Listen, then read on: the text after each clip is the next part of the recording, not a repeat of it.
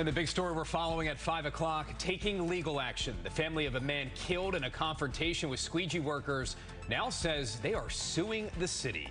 Hello, everybody. I'm Rick Ritter. And I'm Nikki Zizaza. Welcome to those of you watching on CBS News Baltimore and on WJZ TV. Now, lawyers for the family of Timothy Reynolds say there is no question they believe he would still be alive if the city had enforced laws which are on the books. WJZ is live at the intersection where Reynolds lost his life. Yeah, let's get to Paul Gessler with what the family attorney had to say today. Paul. Rick, just over seven weeks ago at this hour, rush hour, it was a Thursday night, Timothy Reynolds was shot and killed on the corner of Conway and Light. A teenage suspect now facing murder charges as an adult, and Reynolds' family says they have, they have every intent to sue the city.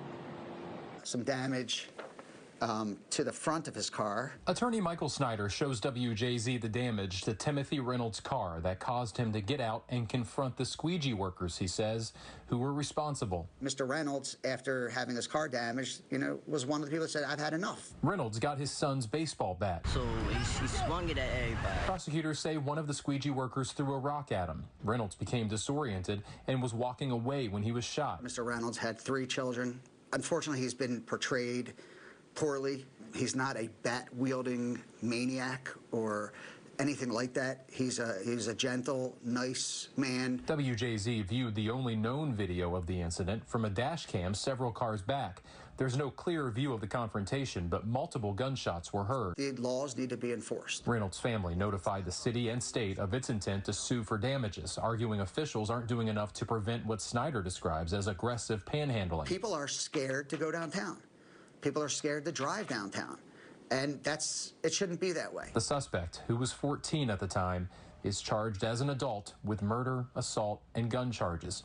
Reynolds' family intends to file a multi million dollar lawsuit, but Snyder says they want change. The most important thing for the family is that this doesn't happen again. Back live now, where squeegee workers are at that same corner where this happened seven weeks ago, and many here have noticed an increased police presence since this incident as well. Snyder told me it's important to note police had been notified earlier that day that some squeegee workers were harassing drivers. Snyder argues that city officials, police, did nothing about that. For now, reporting live at 5 downtown, I'm Paul Gessler for WJZ.